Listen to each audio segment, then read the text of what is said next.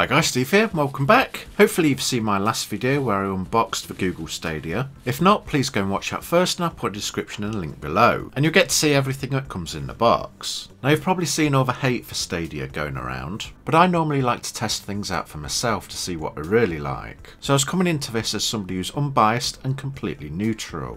That's how I started, but boy did this piss me the hell off setting it up. Now you're going to find this video really funny and think what the... But for me, hours trying to get it to work, not so much. So first we're going to start off with what no one else covers, is setting it up. I connected its charger and plugged Chromecast into the back of the TV. I've heard you can stream YouTube vids from your phone to the TV by way of this if you don't have a smart TV. But I have a smart TV, I can do it anyway so I've never needed one. The instruction manual you get is terrible. It tells you the bare minimum to non-existent. Just plug it in, set it up. Download the app, set it up. Nothing about what anything does, like the Chromecast if you didn't know. Nothing about the setup options, what settings you need to pick, how to change those settings, or what order you need to do things in. So most of the time you've got to guess and try and work it out for yourself. Now I'm fairly knowledgeable when it comes to tech. I've built my own computer. I'm the guy my friend's phone when the system fails to boot. I'm the one who sorts out their new TVs without reading the instructions etc. So let's see how I get on. What you're going to see is the edited streamlined down version without me wasting hours of my time and at the end of it being extremely pissed off. So you plug in your Chromecast, select the right channel on your TV and this comes up. Sorry for the shaky cam, but I'm standing there filming it live. I enter the web address, scroll past all the ads, and that takes me to the download page. Go to the Google Play Store, open with Play Store,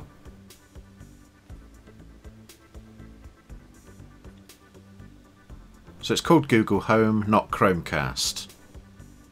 Click Install. Accept and sign your life away so they can spine you and start to download the app. Once that's done, open the app.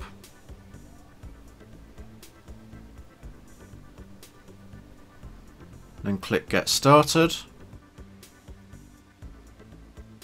I decided to put a camera on a tripod so you won't get seasick. Here I didn't know what to do so I clicked Get Started again. That took me to the setup page. Wasn't sure about that so I went back. Clicked on set up one device. Choose a home. Okay, I'll add my home. I'm going to call it home.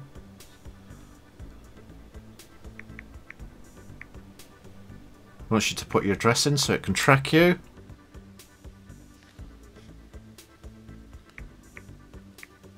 Then click next, it'll look for devices.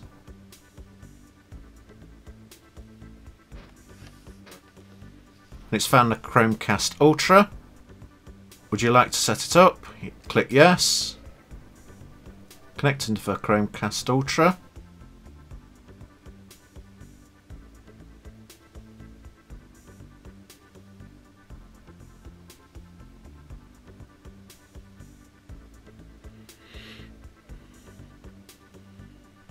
Connected. Next you get four digits come up on screen.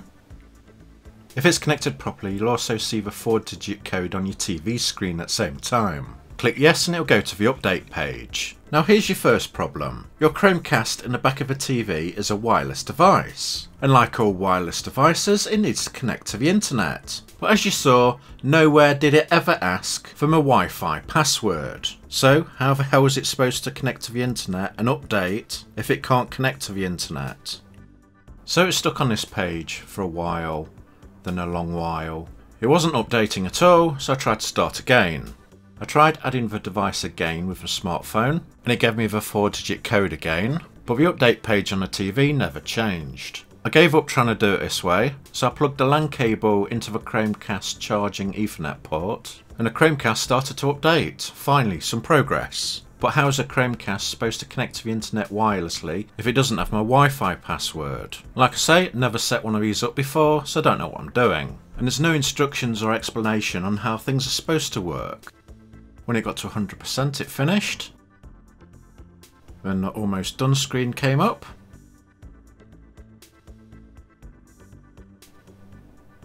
Waiting.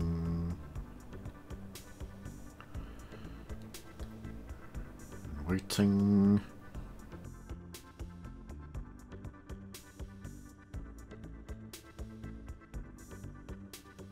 Then that changed to a TV screensaver picture. Then finally it took us to set up your Stadia controller using the Stadia mobile app. Okay, we're almost there guys, we've got everything set up, but here comes a punchline. So I get my smartphone out again and go to the Google App Store. Google Stadia. And search a list of apps for the Stadia one. Stranger thought, the day after release and it's not at the top of a list. Let me scroll down and see if I can find it. It's a bit tricky filming this, doing it to the side with my wrong hand. Nope, not that one. The only Stadia I could find is this one, and that's to do with football. And as you can see, nowhere to be found. So I tried to search again and again and again under different names. Stadia, Stadia Google. Is it under a different name I don't know about? But no matter what I looked for, I couldn't find Google Stadia. But then I remembered when I was emailed the access code, it gave me a link to download the Stadia app from there. So I click the link and find the Stadia app. Finally, it's found it. I look over the screen to double check it's the right one. It looks like it. But then I notice the red text in the middle. Your device isn't compatible with this version. That's right guys, if your smartphone's too old, you can't even play Stadia. what a joke. If you can't download the Stadia app, then you can't connect the Stadia controller, meaning you can't progress past this screen. So yeah, I can't even use this hardware that Google sent me for free. I'm glad it's free, or I'd be really pissed off about now. I knew that you could only use Stadia to stream games to Google Pixel phones, but come on, you can't even install the Stadia app on older phones.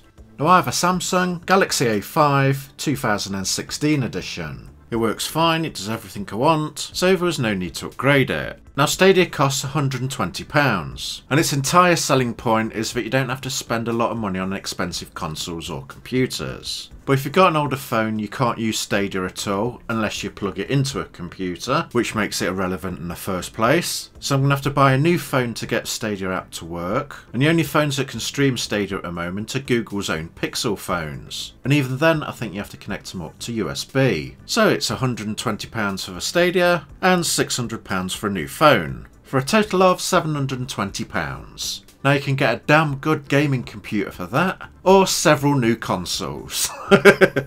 then on top of that you'll be paying full price for games that are years old. I managed to get to the TV screensaver page by unplugging a Chromecast and then plugging it back in again. I've tried multiple ways to press a key configuration of a Stadia controller in the top right, but nothing's worked. And as I thought, I can stream YouTube videos from my phone to my TV by the way of Chromecast. That's the only use I can get out of all of this, but I could do that before with my smart TV, so even that's useless. So yeah, I have set the Chromecast up, but I'm unable to download or use a Stadia app.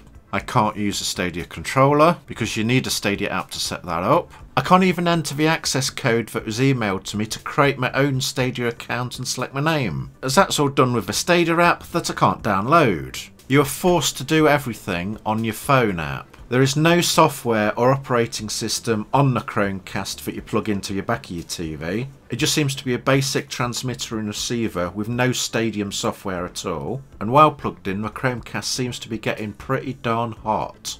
So yeah, I can't even get mine set up. And the only real use I can get out of it is for a doorstop. Overall, I'm really not impressed with this. Most people aren't going to pay full price for games that are years old. They're going to feel ripped off. Never mind other problems I've experienced. I am going to try to see if I can get it to work with a computer. But if I've got computer, why on earth would I need a Stadia? There are no instructions anywhere to set it up with a computer, so I'm going to have to try and figure that out. And if I can, I'll do an additional video where I'll test to see what the input lag's like as that's the main thing I was interested in. But if not, I couldn't even get this thing to work. I hope this video has been informative, and if it has, please like, subscribe, share, click the bell, the usual, and hopefully I'll see you again. Goodbye!